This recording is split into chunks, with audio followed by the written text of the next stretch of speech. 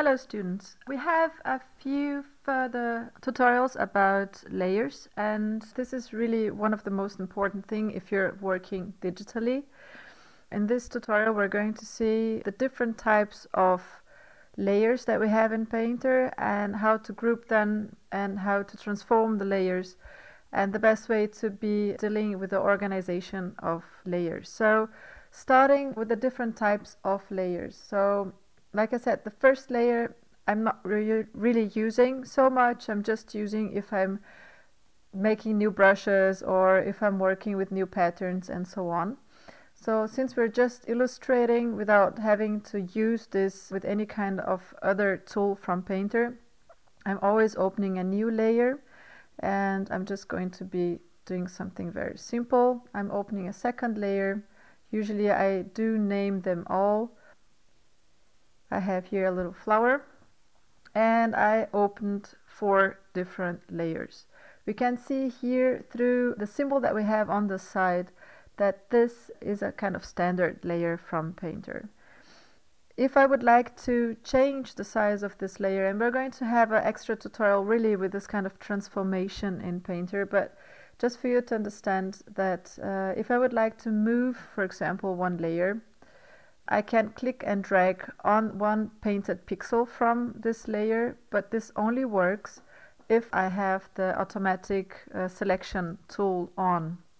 If I turn this off, I'm going to be touching anywhere on the screen, even on other painted pixels, and it's always going to be the same part that is going to be moving unless I select another layer straight on the layer window, and then I can be moving other layers around okay? Independent on where I'm going to be touching on the painting.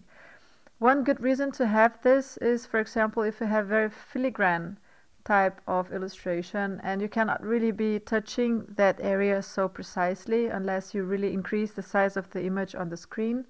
Or uh, if you have so much information on the screen that you can select it better through the name of the objects on the list and then move around. But usually I always have the automatic select selection of the layers on so it becomes orange on this version of Painter and I can just click on any kind of pixel from the certain layer I'm going to be selecting and move it around.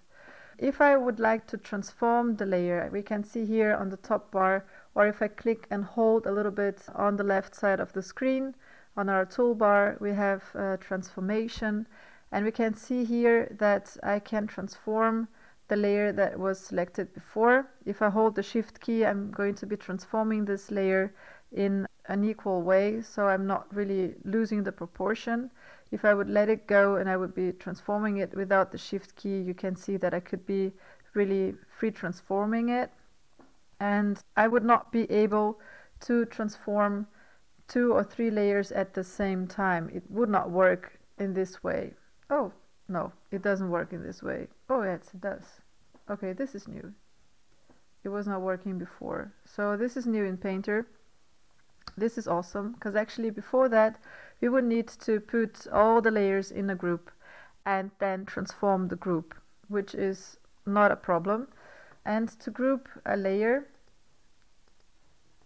you select the bottom layer or the top layer and then you hold the shift key and you select the top layer and you go to the menu on the right side and you say group layers which is uh, propeller G or command G.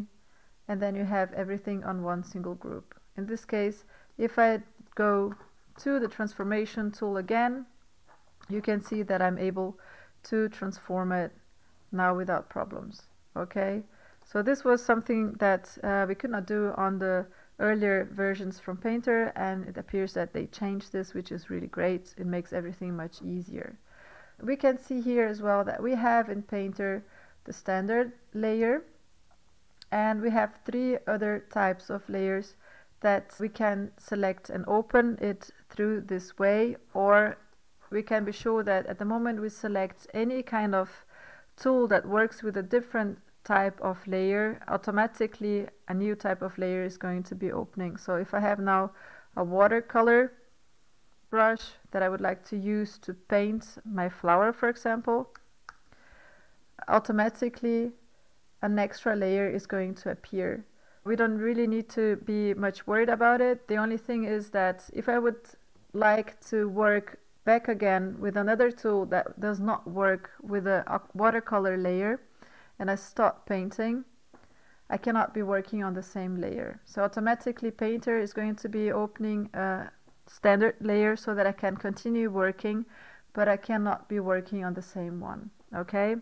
At the moment I select both layers, the standard layer and a watercolor layer, we can see that you cannot bring them together. You cannot really transform them into one single layer.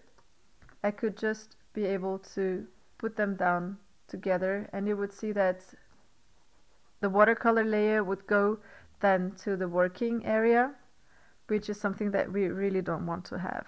So you cannot connect these two layers and make them become one. But one thing that you could do is just group them again. Make a group out of these two layers. Okay, this is another step from Painter and layers and we're going to talk more about it in the next tutorial.